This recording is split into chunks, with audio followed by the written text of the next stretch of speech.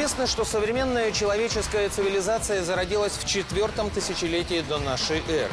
Этим временем датируются первые письмена самых ранних цивилизаций – египетской и шумерской. И именно этим временем датируются первые достижения ранних цивилизаций, например, изобретение колеса.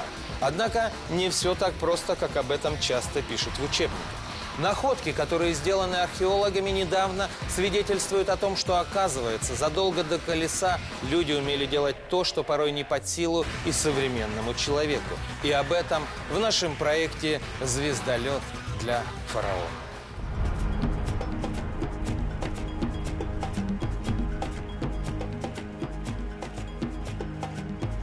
Сьерра-Леоне – государство, расположенное в Западной Африке на побережье Атлантического океана.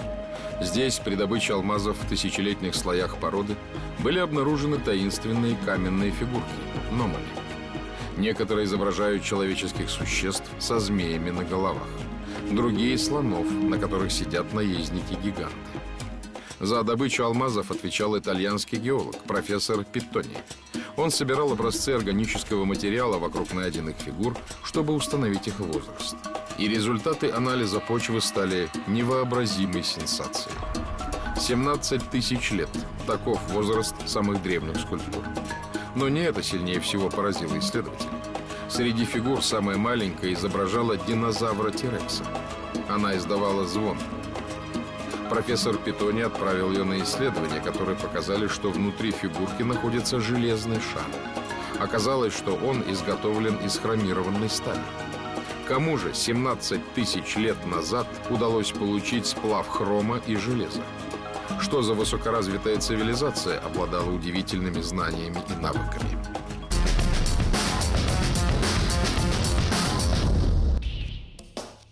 Австрийский археолог-исследователь феноменальных находок Клаус Дона с нетерпением ожидал вестей из Вены, куда отправили шарик, спрятанный в каменной фигурке динозавра.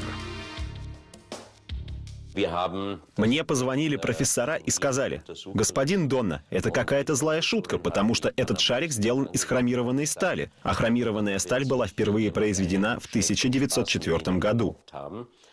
Я тогда позвонил профессору Петтони и спросил, не ошибся ли он, и действительно ли шарик находился внутри именно этой фигуры. Он моментально нашел рентгеновские снимки, которые были сделаны до того, как фигуру вскрыли, и доказал, что шар действительно находился внутри нее. Клаус Дона более 30 лет исследует артефакты, которые не поддаются объяснениям здравого смысла и исторической классификации.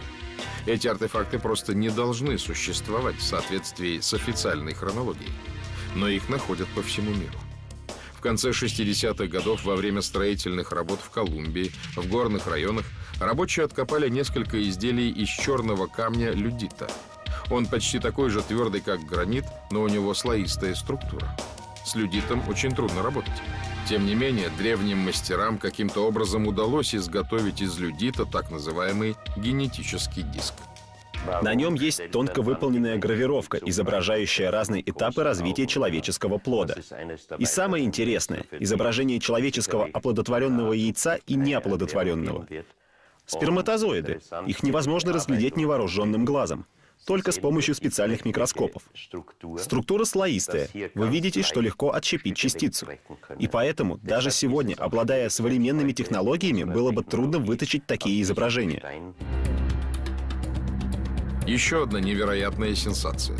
В 1948 году в США при добыче раскололась огромная глыба угля. Каково же было удивление рабочих, когда внутри они нашли железный кубок.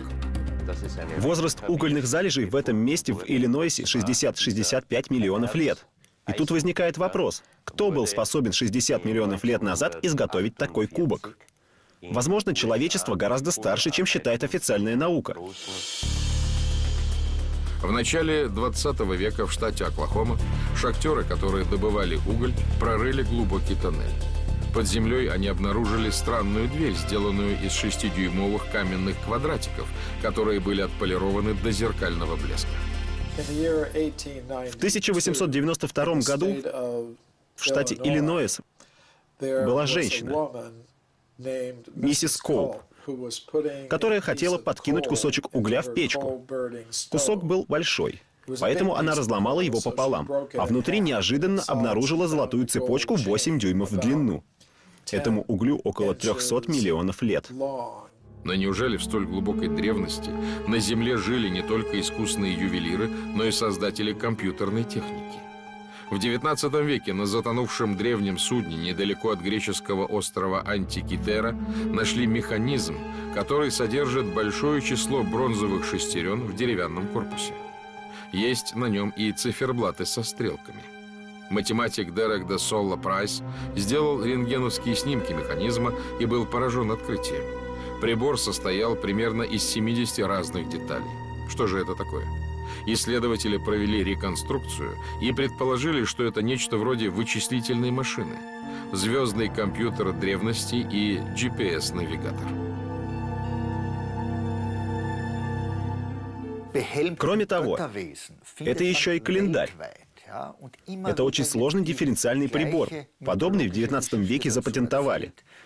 Эти технологии применяют в автомобилях. Каким образом это могло быть у них более двух тысяч лет назад? Это до сих пор остается загадкой. По всему миру археологи и геологи находят странные артефакты, которые свидетельствуют о применении высоких технологий в древности. Лингвисты, изучая древние тексты, читают поразительные инструкции. Но почему же даже сейчас у нас нет подобных технологий? Мы их утратили? Или еще не изобрели? Но находки явно доказывают существование в древности высокоразвитой цивилизации, которая обладала удивительными знаниями. И, похоже, она процветала до глобального планетарного катаклизма, который мог отразиться в древних текстах как «Великий потоп». В 1984 году в Эквадоре, в Ламане,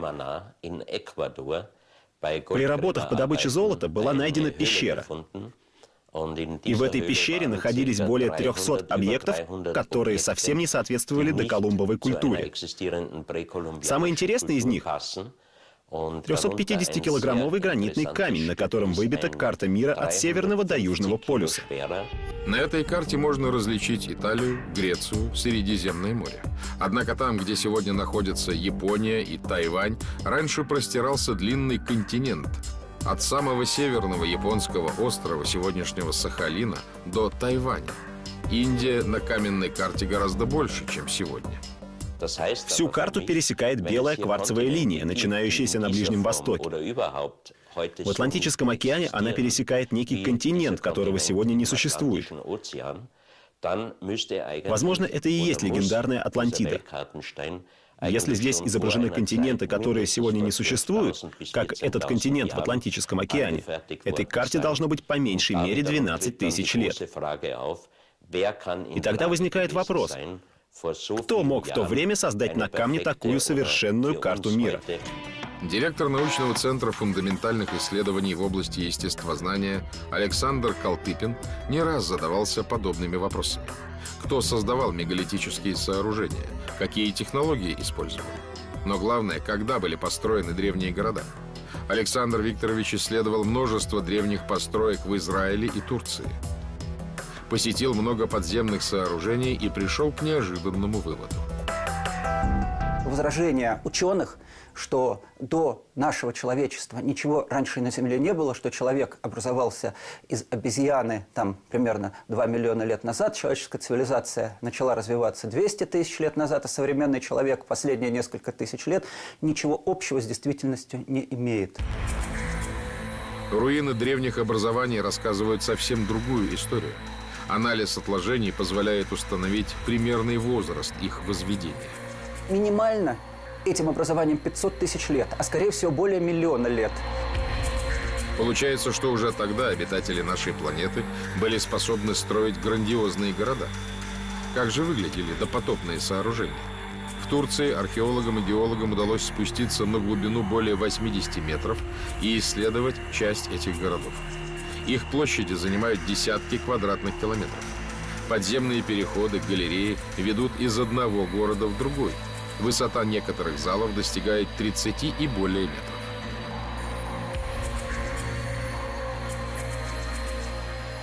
много правильной формы подземных залов, которые, в которых высечена в скалах колоннада э, с идеальной формой огранки.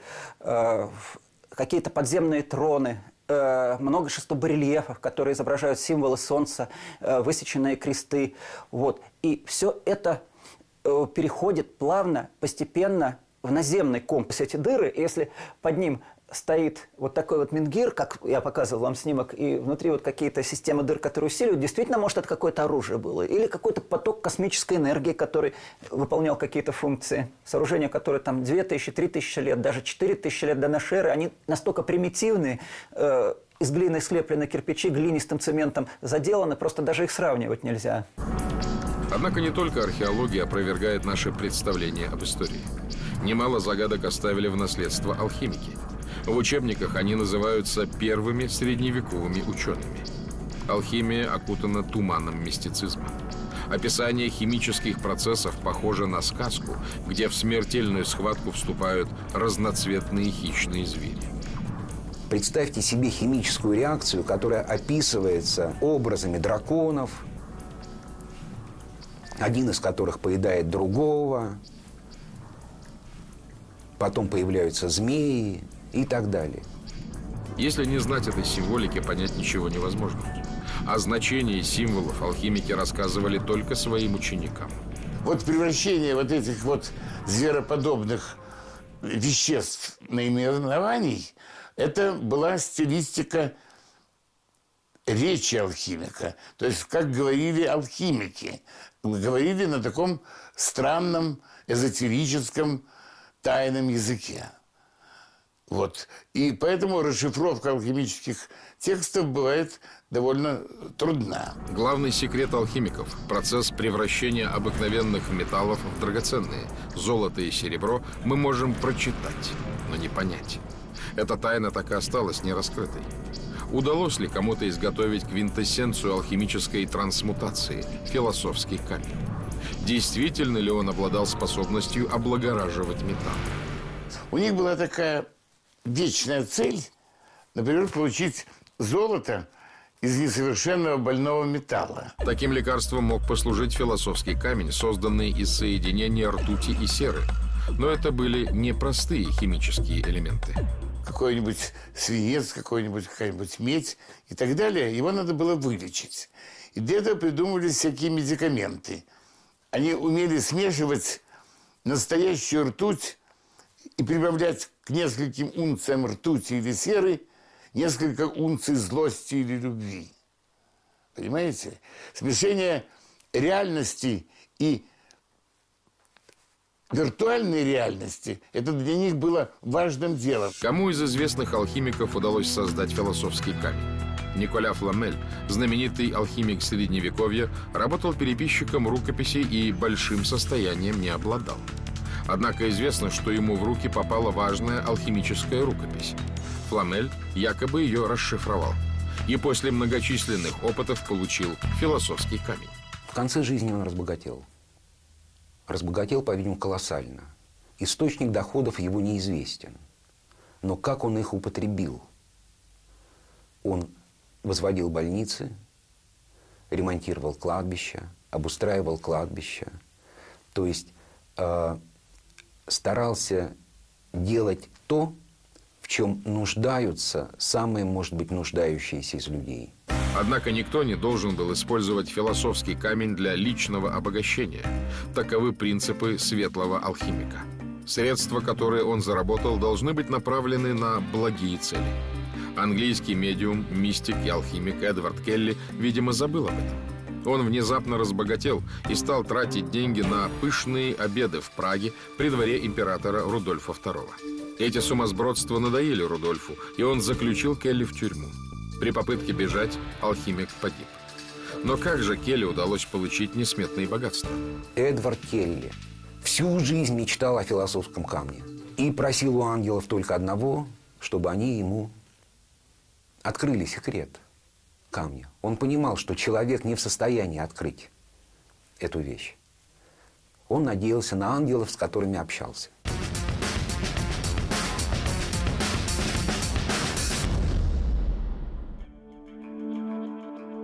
Не только алхимики обращались за помощью к неким существам, обладающим сверхъестественными возможностями. Согласно древним текстам, египетская богиня Исида тоже просила ангела раскрыть тайну получения золота.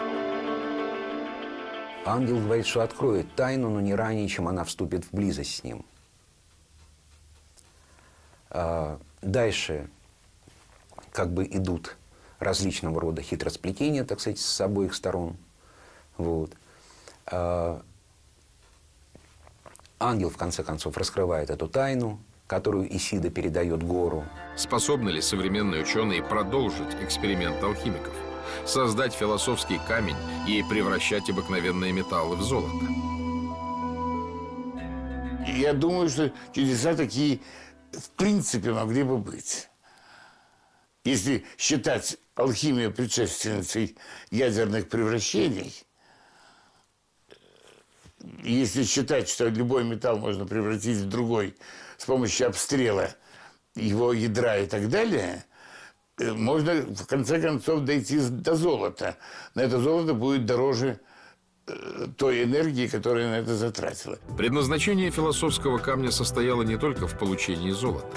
Он мог послужить универсальным лекарством. Его раствор, так называемый «золотой напиток», должен был исцелять все болезни, омолаживать старое тело и удлинять жизнь. Удалось ли алхимикам создать эликсир бессмертия? Они все время приближались к цели, находились без пяти минут от вечности, без пяти минут, но никогда не ближе – и на этом останавливались, поскольку у них ничего не выходило. Однако есть данные, что Раймонд Лули, испанский ученый и алхимик, рыцарь и монах XIII века, продвинулся по пути бессмертия. Легенды гласят, что он создал чудодейственное средство, которое исцеляло от душевных и физических скорбей. Те, кому посчастливилось видеть эликсир, говорили, что он похож на порошок, сияющий как радуга на небе. На поиски философского камня Раймонда подвигла любовь к замужней сеньоре Амброзии Ди Костелло. Он был сражен красотой дамы, но она не отвечала взаимностью. Рыцарь настаивал. Тогда Амброзия написала ему письмо. Чтобы ответить должным образом на любовь, которую вы называете божественной, сверхъестественной, я должна быть вечной. Говорят, что существует эликсир, дарующий бессмертие. Найдите же его. И после того, как будете уверены, что нашли, приходите ко мне. И в тот же миг я буду вашим. Всю последующую жизнь Раймонд Лулей посвятил открытию древней тайны. Через 30 лет в дом Амброзии де Костелло пришел старик. В руках алхимик держал чашу, наполненную блестящей красноватой жидкостью. Амброзия задумалась. Скажите, а ваш эликсир дает только бессмертие – или возвращает молодость? Только бессмертие, ответил Лулий. За эти годы Амброзия утратила молодость и красоту. Тому же ее мучила страшная болезнь. Она не видела смысла продлять земные муки. И ее ответ рыцарю был ожидаем. Простите же меня и дайте мне принять то, что я должна пережить, и обрести вечную молодость. На небесах я не хочу – оставаться прикованной в этом состоянии к тому, что вы называете жизнью и бессмертием. Лулий разбил чашу с эликсиром и остался в монашеском одеянии при ложе умиравшей Амброзии де Костелло. Вскоре она скончалась. Сам алхимик прожил долго. Как гласят средневековые легенды, не раз он стоял перед лицом смерти, но Творец, протягивавший ему руку помощи, всякий раз в ужасе отдергивал ее. В конце концов, Раймонду Лулию были дарованы прощение и смерть. Но ведь алхимия появилась гораздо раньше. Кто же был родоначальником этой науки? Тут мы подходим к самой главной тайне. Кто изобрел алхимию? Алхимию придумал Гермес трижды величайший. Он же Гермес Трисмегист, или египетский бог Тот, реальное историческое лицо. Доказательства существования Тота Гермеса находятся в Берлинском музее. Это Весткарский папирус, где рассказывается, как фараон Хеопс искал ковчег мудрости Тота. Согласно легендам, тот, Гермес, был обожествленным царем Египта. Он почитался как бог мудрости, покровитель наук, песцов, священных книг, создатель календаря. Куда же исчезла книга Тота? Это знаменитое произведение, выбитое на 78 золотых пластинах, на которое ссылалось множество древнегреческих ученых. Неужели книга, раскрывающая тайны управления различными энергиями, тайны власти над землей, океаном и небом, тайны сверхспособностей, как описывали ее историки, бесследно исчезла? Считается, что египтяне, предвидя конец своей цивилизации, скрыли эту книгу. И скрыли весьма хитроумно. Есть версия, что книга Тота представляла из себя рисунок. Египетские жрецы разделили его на ряд образов. Считается, что 78 карт Таро произошли от 78 золотых табличек, страниц книги, написанной Тотом Гермесом.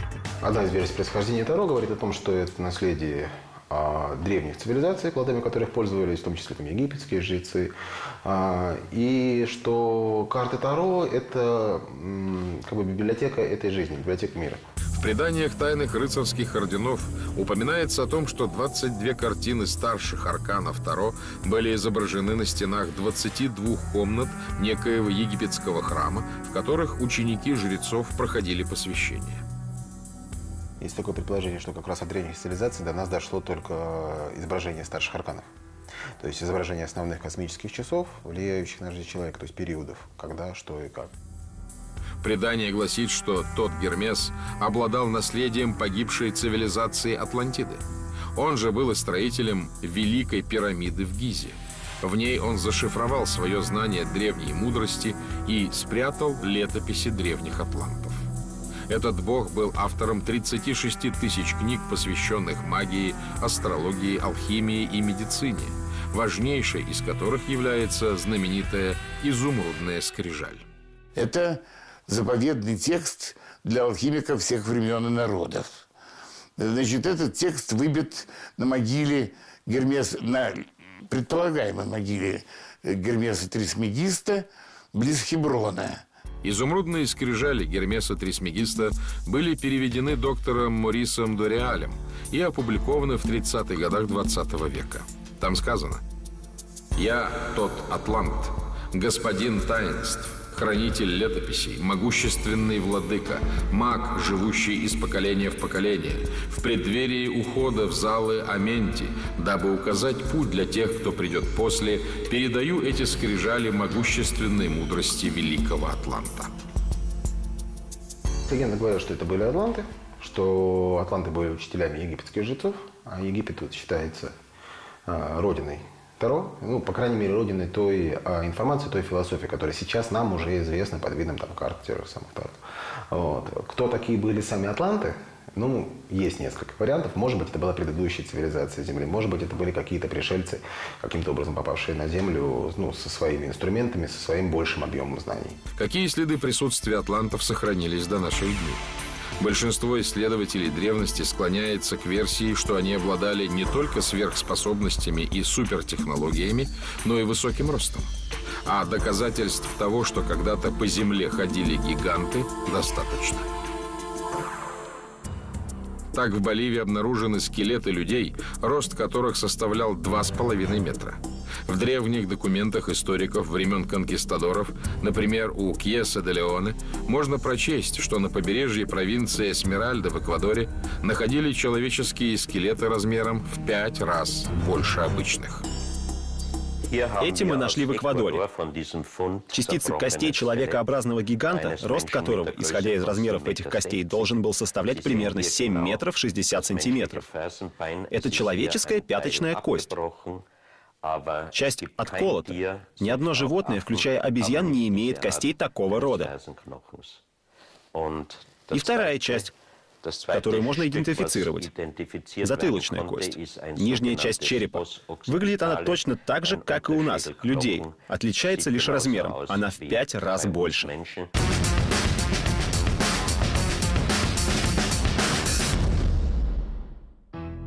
Еще одна интересная находка из Эквадора. Внимание исследователей привлекла пирамида высотой 27 сантиметров, изготовленная из тяжелого серого камня. На пирамидке 13 ступенек и необычный глаз. Вмонтированный глаз при нормальном освещении серый, но если на него направить ультрафиолетовый свет, то глаз загорается ярким светом. Мне кажется, это напоминает ту картину, которую видишь в сильный телескоп, наблюдая созвездие. Из-за этого явления глаз назвали «глазом Божьим». На дне пирамидки надпись, которая обрамляет золотое изображение созвездия Орион. Перевод этих знаков, согласно президенту немецкого лингвистического общества Курту Шильдману, звучит так. «Сын Творца идет». Надписи на пирамидке с глазом напоминают письмена на дощечках Ронга-Ронга с острова Пасхи и тексты Мохенджо-Даро, также похожие знаки обнаружились на камнях в Колумбии, в США, во Франции, на Мальте, в Австралии и на керамических пластинах в Италии. Мы предполагаем, что это свидетельство существования неизвестной древней цивилизации, либо каких-то глобальных контактов.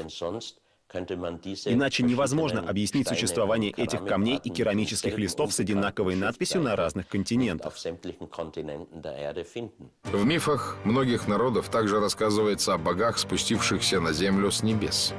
По утверждениям шумерских текстов, примерно 450 тысяч лет назад с планеты Нибиру прибыли сознательные существа Аннунаки. Почитайте древние тексты, например, индийские эпосы, или даже Библию, или самарийские тексты, в которых говорится об анунаках. В Библии упоминаются так называемые нефилимы, древние гиганты. В книге «Бытия» говорится о том, что сыновья Божьи спустились к людям на землю. Они были либо людьми огромного роста, либо представителями иных миров. Часто отмечается, что у них была большая продолговатая голова. Черепа такой формы археологи находят по всему миру. Некоторые из них были деформированы искусственно или врожденно. Но есть вытянутые черепа, которые красноречиво говорят об их нечеловеческой природе. Так что же это за яйцеголовые существа? Самую интересную находку, связанную с длинными черепами, мы сделали во время нашей первой поездки в Южную Америку, в Перу. В маленьком музее в городе Икка, носящем название «Богатство Девы Марии», были экспонаты невероятной длины черепа. Но среди них были черепа, форму которых, и это подтвердили мне эксперты, невозможно объяснить лишь искусственным удлинением.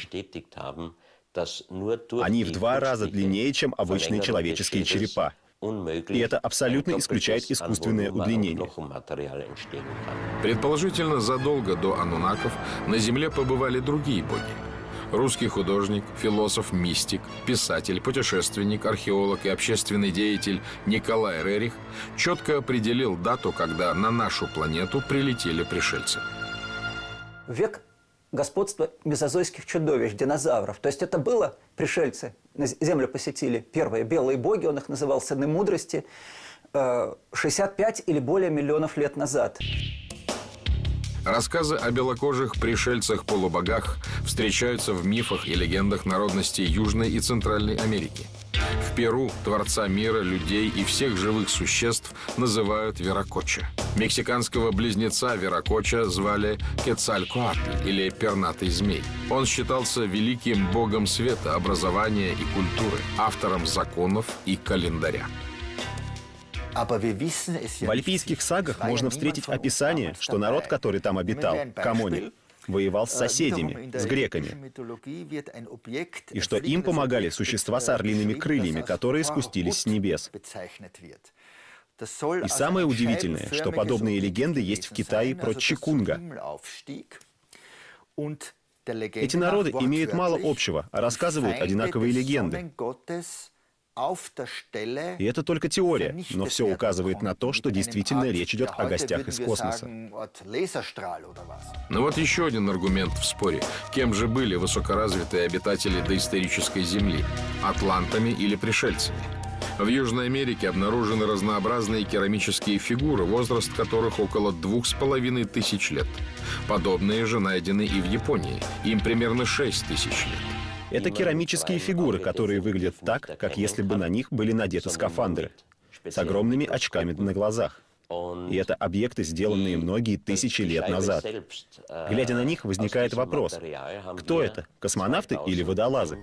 А кто изображен на 24 тысячах скал и каменных глыб в Валь-Камонике в Северной Италии? Там найдено около 350 тысяч рисунков. Среди них встречаются изображения необычных существ в шлемах. Эти фигуры кажутся парящими, эдакие космические путешественники. Но рисункам в долине Валь-Камоника 5-10 тысяч лет. И, по нашим представлениям, в то время не могло быть космонавтов. В Мексике археологи нашли альмекскую 17-сантиметровую фигурку. И на ней классический шлем, костюм. Он выглядит абсолютно как космонавт. Археологи говорят, это якобы шаман или бог-ягуар. Но ведь мы не знаем, кем был этот бог-ягуар. Если есть костюм космонавта, значит, должен быть космический корабль. Каким же образом боги перемещались? Многие народы слагали о летательных аппаратах своих богов легенды и сказки. Практически каждый бог прилетал на огненной колеснице. Скорее всего, это нелогично. Скорее всего, это было на самом деле, это отражение какой-то реальности, которая была в то время. Э, древние люди были свидетелями таких явлений, и они описывали это все в своих э, сказаниях или в каких-то древних текстах. В Древней Индии были известны летательные аппараты Виманы – Индийский исследователь Канишк Надхан писал, что Виманика Шастра – это древний санскритский текст, который описывает технологию, находящуюся далеко за пределами науки того времени.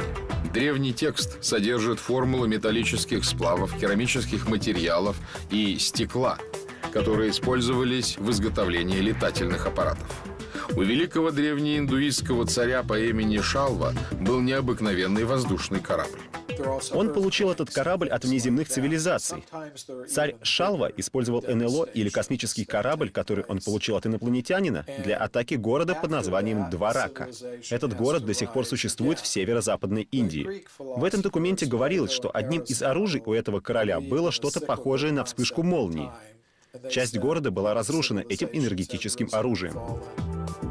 Также в тексте пятитысячелетней давности говорится, что этот космический корабль мог появляться в нескольких местах одновременно. Его движения были описаны как движение бабочки. Это странным образом напоминает сегодняшние рассказы людей, наблюдавших НЛО. Однако атланты тоже могли похвастаться подобными достижениями науки и техники.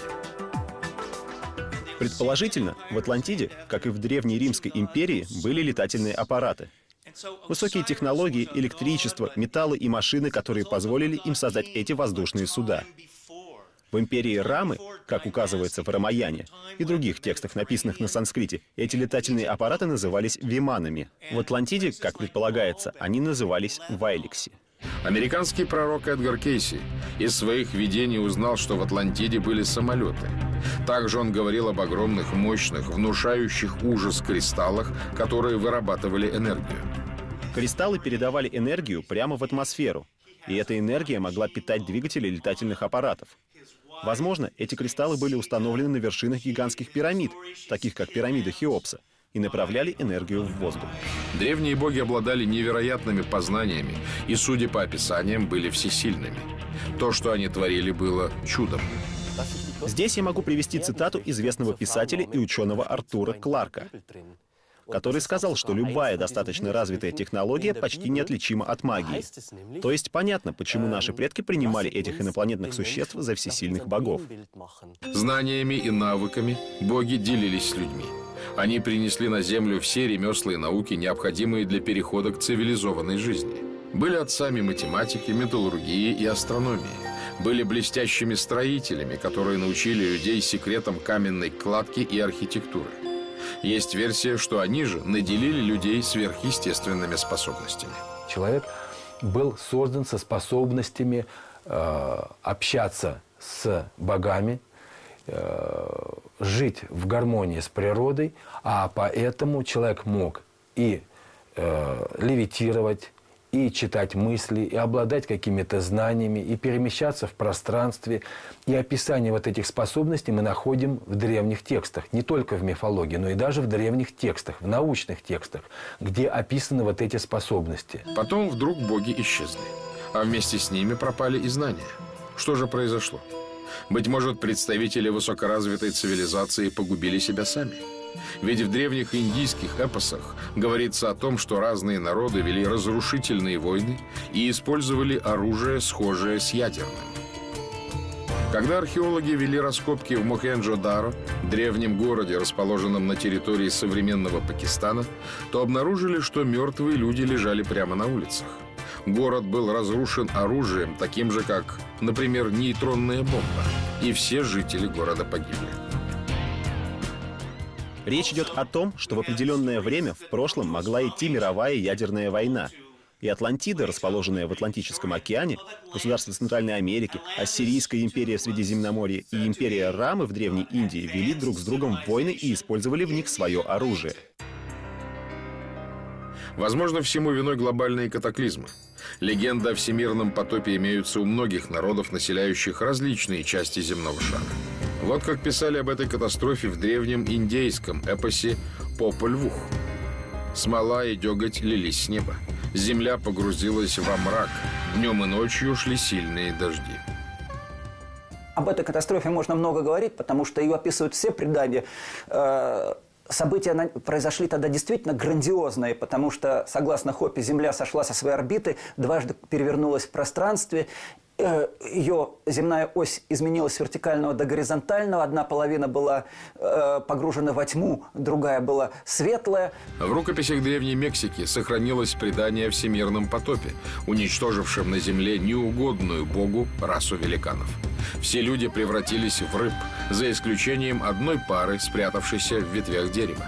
Интересно, что во всех легендах о потопе у жителей Нового Света упоминаются землетрясения и извержения вулканов не считая Библии, написано у, у шумер, у южноамериканских э, э, разных племен, много чего написано именно об этом событии, которое произошло неожиданно для инопланетян. И, по сути дела, у них были здесь какие-то станции слежения, у них были какие-то здесь вообще сооружения, была техника, которую они завезли, у них значит, были роботы, которые им помогали в их нахождении здесь. И вот все это залило и все это пропало. Но так ли бесследно пропали все плоды их трудов?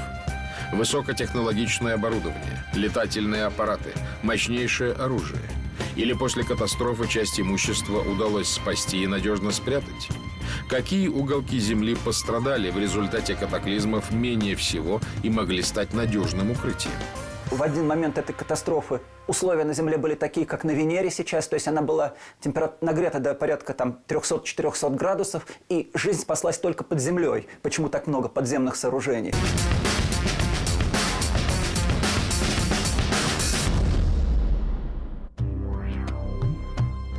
Древние предания говорят, что в Гималаях есть легендарная страна Агарти, где в пещерах сокрыта совершенная военная техника древнейших цивилизаций. Кто сможет ее найти и использовать, тот покорит весь мир. Только вот добраться туда очень сложно. Некоторые исследователи полагают, что Агарти не существует в физическом смысле. Возможно, Агарти находится в параллельном мире, обитатели которого недоступны нашему взору. Ведь мы созданы так, что можем видеть только в трехмерном пространстве. Но мы можем чувствовать или можем с помощью каких-то приборов фиксировать проявление э, других сущностей или проявление тех же богов, который находится совсем в другом пространстве или в совсем другом измерении. Поэтому надо полагать, что и Агарти, и Шамбала – мы, как физические объекты, вряд ли в ближайшее время найдем. Сергей Волков, известный путешественник, участник многочисленных экспедиций на восток, пытался найти вход в страну Агарти. Длительное время поиски велись в Монголии. Там на стенах пещер нашли изображения летающих драконов. Людей то ли с рогами, то ли с антеннами и рисунок большеголового алмаза. Местное население рассказало, что так называются и так выглядят подземные жители. Есть свидетельство и в сокровенном сказании, когда войска Чингисхана шли к Кунь-Луню, они встретили народ, который ушел под землю. То есть э, в древних текстах очень много рассказах и ну, свидетельств о том, что люди жили в пещерах. И связано это с мифом об Агарте, о подземном каком-то царстве, которое связано длинными туннелями и на машинах – Э, ну, неизвестных человечеству, они сообщаются с разными континентами. Затем поиски Агарти привели Сергея Волкова в Западный Тибет. Участники экспедиции оказались в местах, которые до этого времени европейцам запрещали посещать. В загадочном пещерном городе Кюнглунг-Нулкара в одной из пещер были обнаружены корзины, заполненные древними манускриптами. Причем надписи выполнены цветными чернилами, которые не расплываются. Пока эти тексты не переведены. Но, возможно, они доказывают существование высокоразвитой цивилизации. Уникальное место в том плане, что э, ну, там до сих пор археологи всерьез не работали.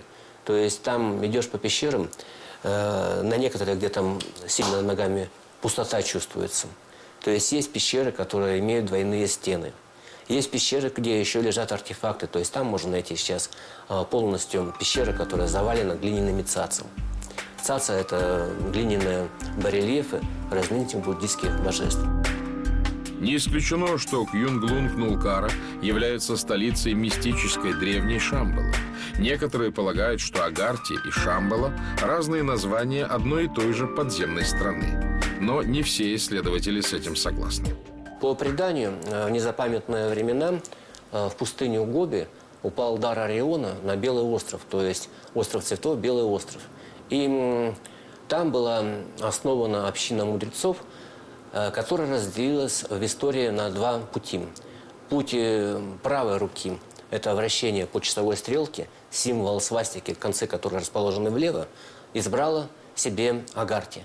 А путь левой руки, э, которая вращается против часовой стрелки, против часовой стрелки, это свастика правосторонняя, символ Шамбалы. По мнению Сергея Волкова, отличие в том, что Агарти следует законам природы, а путь левой руки – это подчинение природы и человечества своей воле. То есть Агарти – белая магия, Шамбала – черная. Получается, что Агарти – сокровенный центр, который по отношению к человечеству гуманнее и добрее. Пока вход в эту страну Сергей Волков не нашел.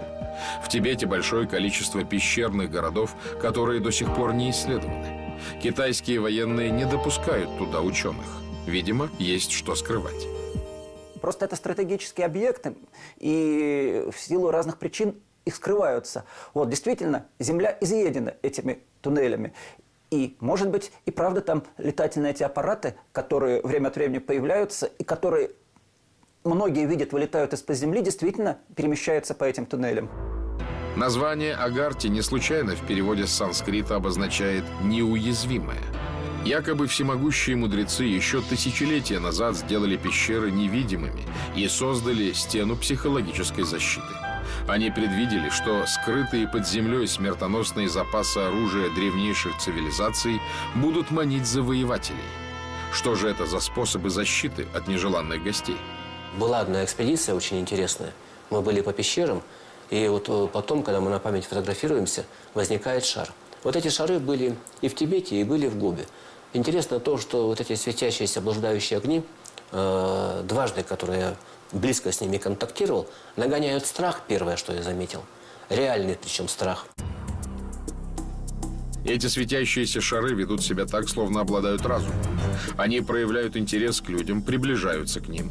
Буддисты предостерегают – ни за что не входить в контакт с этими сущностями, увидев их падать ниц и просить защиты у Матери Земли.